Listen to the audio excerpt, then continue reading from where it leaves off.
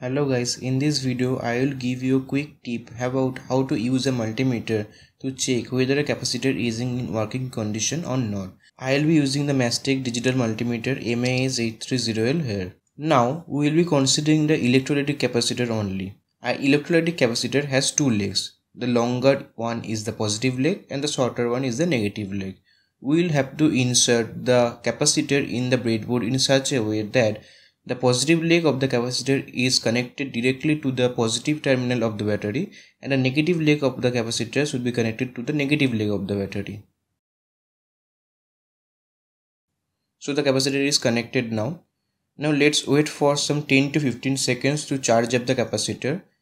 As this capacitor is of a higher capacitance, it will take some more time than the smaller ones to get charged. So after some time, you have to take out the terminal any of the terminal of the battery and put it aside. Now turn on the multimeter put the regulator in the 20 volt range take the probes connect the positive probe to the positive leg of the capacitor and the negative probe to the negative leg of the capacitor and take the voltage reading. You should see that the voltage is decreasing and if the voltage is decreasing that means the capacitor is working. As this is a higher capacitance capacitor, the voltage decaying will be slower.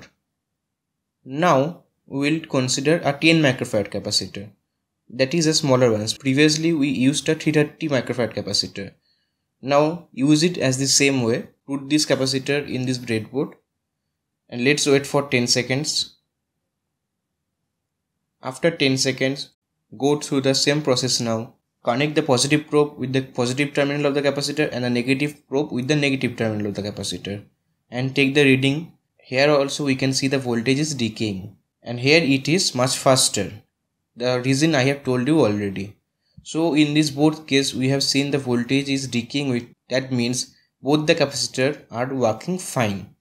So that's it in this video please give a thumbs up if you have liked this video subscribe to our channel being engineers like our Facebook page and follow our Twitter account to get the latest updates in time. Hope to see you in the next video. Bye.